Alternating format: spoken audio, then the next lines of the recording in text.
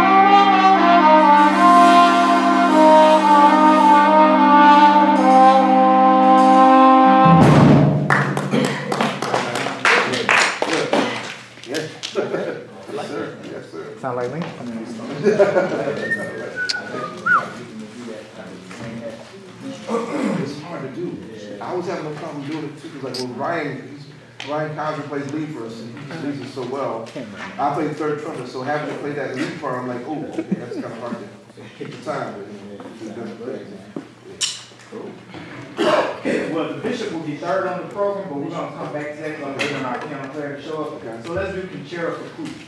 Okay. Yeah. Did she stay on too?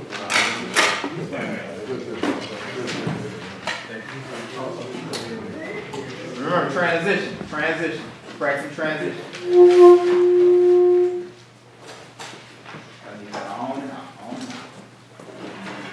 Have you heard of Ryan Kisor play this? Check, check him out. Oh yeah. That's my man. That's my man.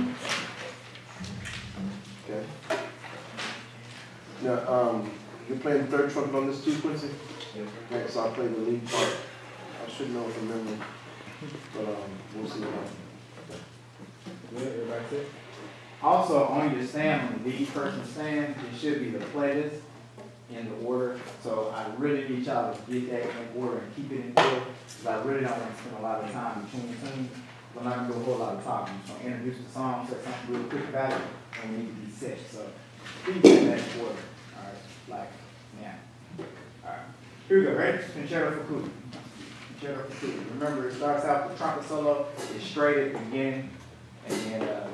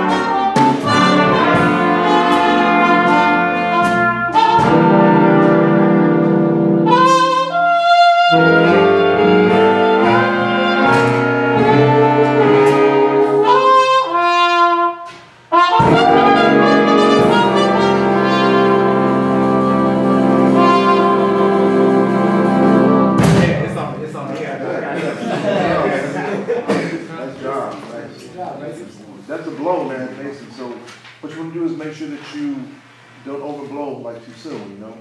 Like watch out, like when Ryan plays it, he kind of saves his energy until that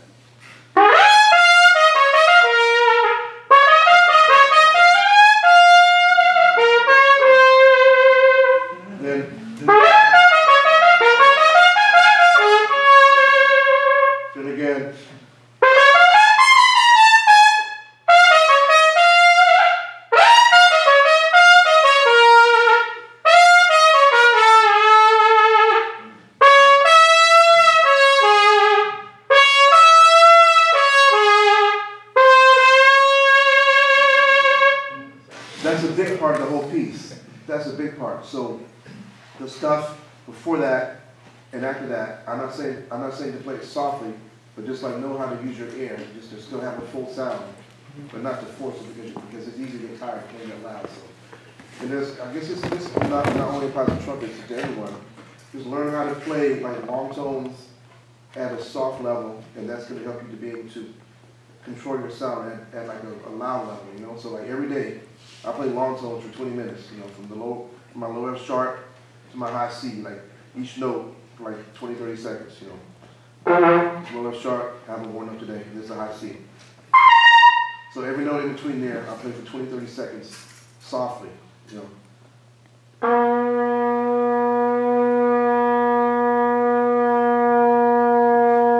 You know, just so I can get, so I can have a centered, you know, focused sound. So, you know, for it's a hell of a job. Oh, I said bad word. I'm sorry. a heck of a job, though, man. Everybody, it's a good job. And in the beginning, I noticed some, some things with the time. Like if you're playing a tempo that's slow, that's something, that's something that we call Grofos tempo.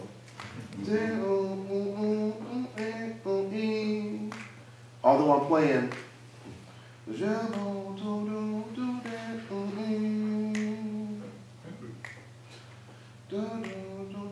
I'm thinking,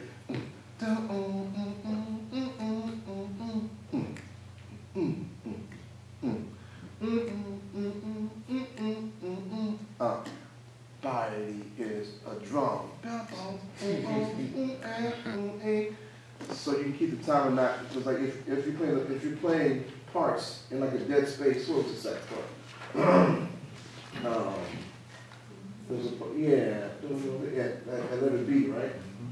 そう、まあ、そう、まあ、そう、まあ、でらであ、うん、うん、うん。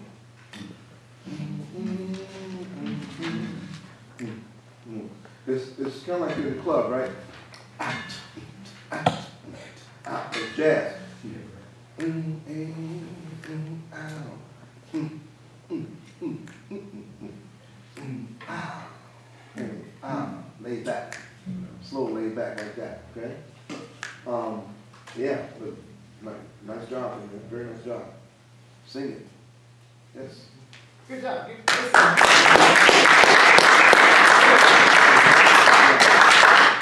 Oh, I had a question in the beginning.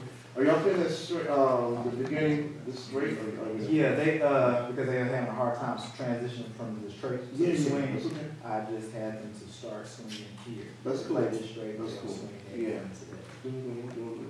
That's what we do too, yeah. Okay. From the top, we go one.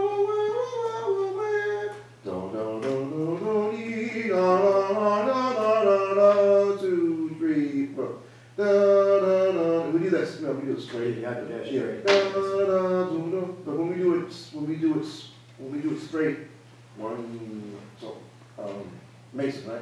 He goes, wah, wah, wah, wah, wah, wah, wah, wah. Do, do, do, do, do, dee, singing in a choir, two, three, four. Still singing in that choir. Bam, bam, oh, ah, ah, ah, ah. You know, for future rappers, play the way you play it now, but you know, this da da da da da da. It's hard. Da da da da da da da da. Ah, da da. Oh, ah, oh, oh, ah.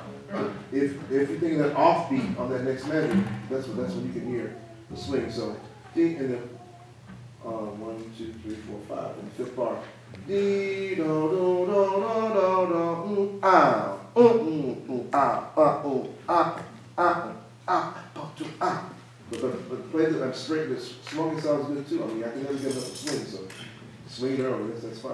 Yeah. Cool. All right. Good. Can you get some? No. Good. Good. Good job. All right, let's do, uh, all right, thank you. Let's do I Ain't Got Nothing But the Blues, and then we'll come back to the I fish. knew you was gonna say it. I just did. I just did. And I can't wait to hear you. Oh. What's your name? I'll put in. Marty, can you sing it? There he is. This-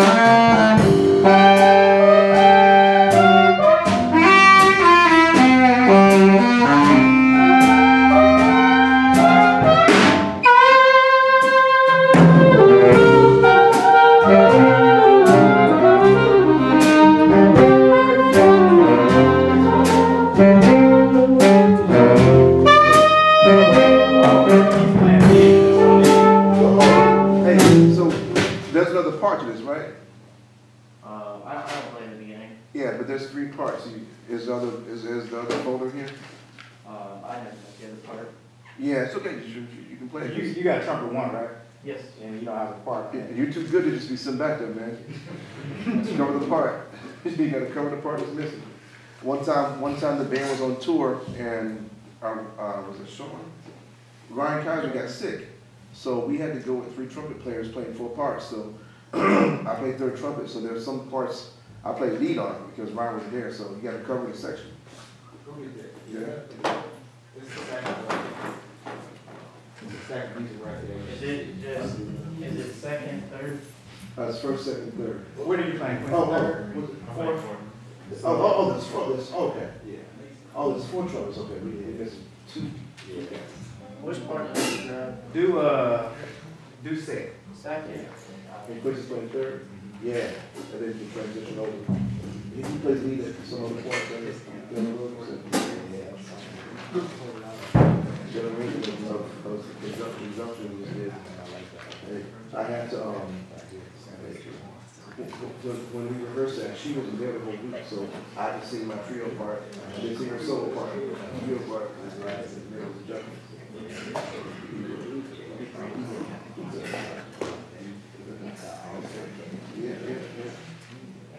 Hey, let's not let this, uh, push ahead. Let's keep it laid back. So really, quick, like, you gotta lead that. So lay us back. Almost like you drag, you know, make it laid back. I don't want this, to- I don't want this to push. I don't want it to feel like it's pushed out. All right, let's try it from the beginning. Let's just like switch up. All right, here we go. ready? One, two, one, two, lay back.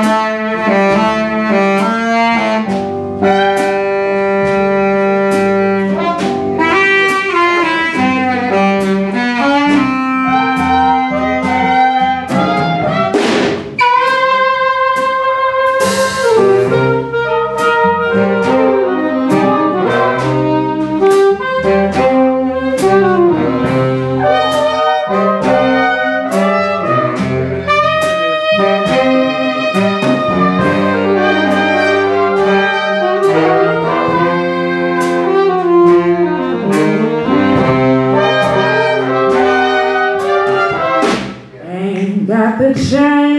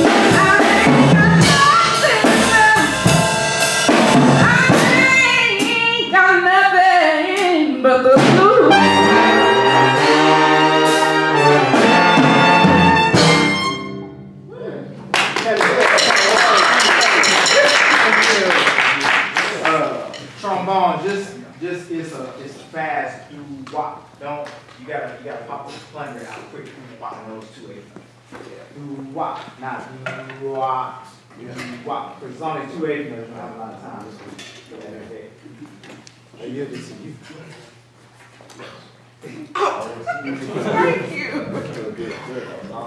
We should try to play like, like she sings. I try to play like a vocalist when I play, you know, like, in these parts, um.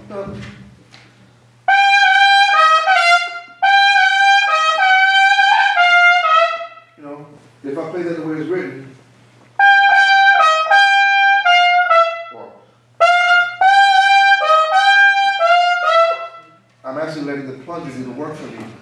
my, my, my, my feelings work, so. When I play plunge notes, I try to bend the note with my, with, with my, my hair and, and, and, and with my lips too, so I'm playing.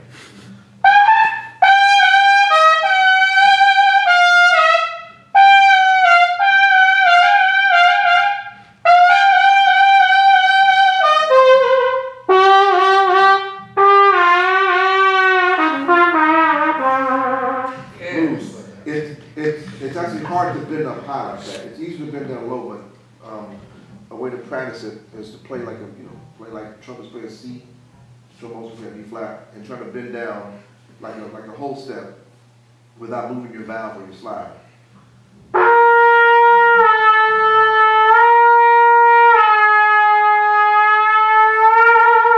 The, vibrato, and, and I don't like the word vibrato, because like, usually when you see, when you see the word vibrato in a piece, you think, okay, I gotta shake the horn. But I would rather than replace the word vibrato with feeling. It's something that you feel, you know? So like if I'm singing, like the way she was singing, you know what? Um, Sing your first line of this. Ain't got the change of a nickel. She said, she said, she said, I got the chain. The little thing at the end, the little tail at the end. Ain't got the chain of the nickel. That's how we got to play. So.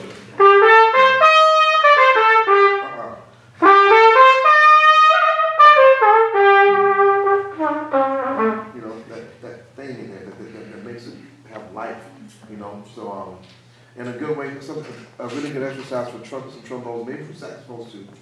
There's a, there's a, a brass teacher at Juilliard, his name is Chris Jarvis. Chris has his students play the national anthem, open valve. It's really hard to do that, I can't quite do it myself, but just, so. As opposed to. So,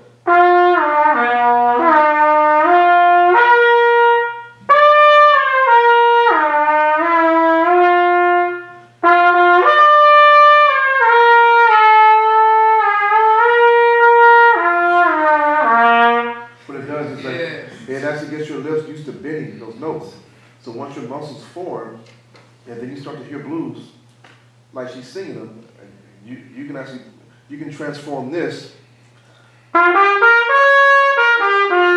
into this. You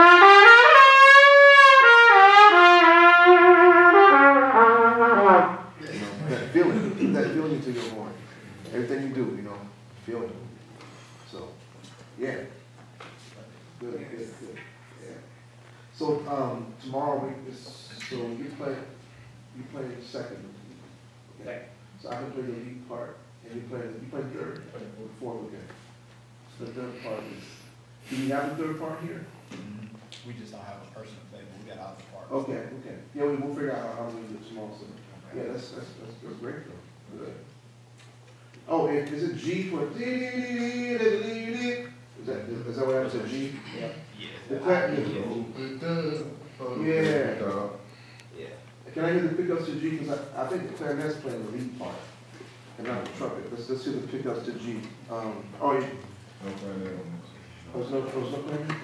Oh, okay, cool. Let's just hear the whole band at, at, at G. Um, I don't know, but it's got a quite cover. I see yeah, yeah. So we, we- uh, pickups to G, I go one, two, three, four, one, ba, ba, ba, ba. Two, three, four, ah.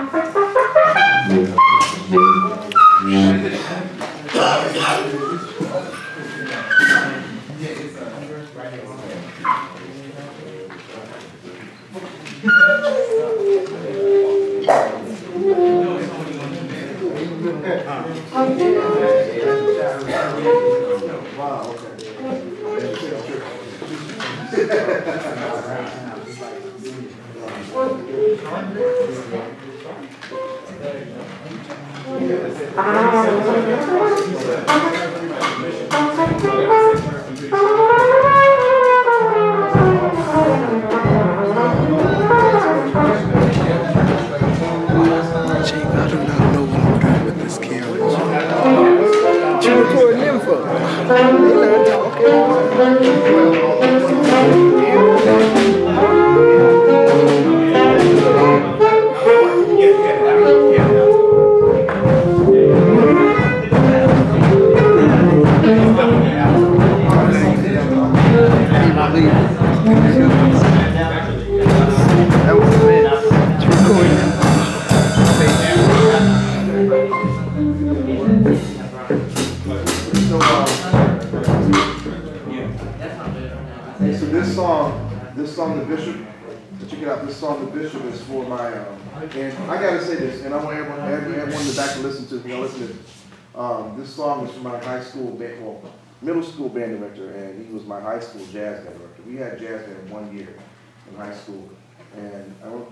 will say this now, I was, I was gonna wait un- until the concert, but I'll say it now over here. This cat cares about every one of y'all. Because like, man, he's been sending me videos, he's been talking about this for the past six, seven months. So you will always remember your band order. So let's give Mr. Moore a round of applause.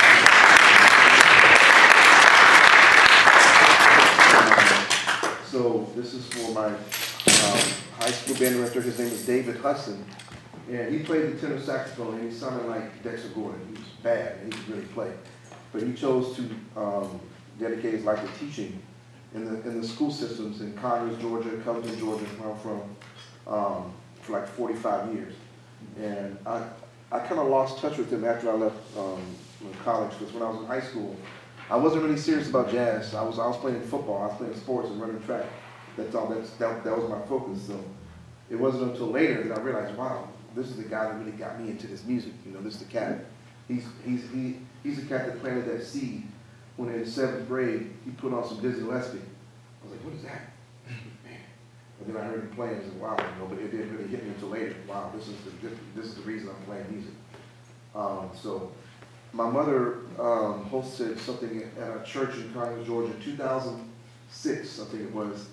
And she had me come down from New York as a, as a special guest. And she said she had a surprise for me. So she invited Mr. Hudson to come play. I was like, oh man, there he is. It was a, it was, it was a great moment. I I hadn't seen him in like maybe 10, maybe 15 years. So we talked and we actually got to know each other again, you know, on like a manhood uh, level. You know, I'm I'm a 40 something year old man now. And as we were playing in church, he goes, you know, you know, Marcus, I'm not doing well. I was like, what's wrong? He, he had cancer. So long story short, he passed away like four months after that, but we got really, really close. And he was a bishop. So that's that's that's who this tune is for, for him. So every time I play it, I think about him playing this song, man. So it's for him. And um, that's that's a story behind this song. The Bishop.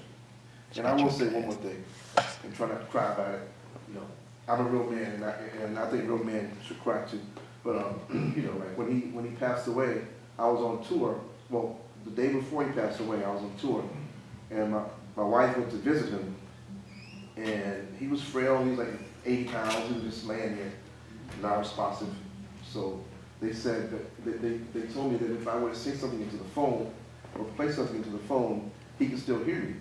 But he, he, he couldn't respond because he was like this for like three or four days, not moving, just breathing on respirator. So I played Amazing Grace for him, and um, he woke up and he, started talking to me. And he said, play on, play that music, Marcus, play on, play on. He started crying, I started crying, and he died the next day. So, uh, like maybe one week later, I wrote this song.